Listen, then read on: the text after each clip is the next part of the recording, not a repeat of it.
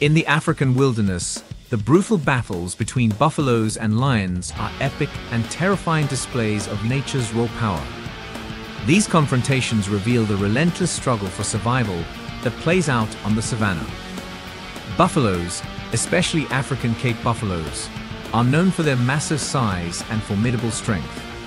Lions, on the other hand, are skilled predators that often hunt in coordinated prides. When lions decide to target a buffalo herd, it sparks a high-stakes battle.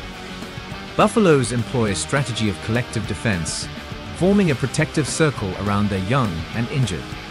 Lions, however, employ cunning tactics, attempting to isolate vulnerable individuals.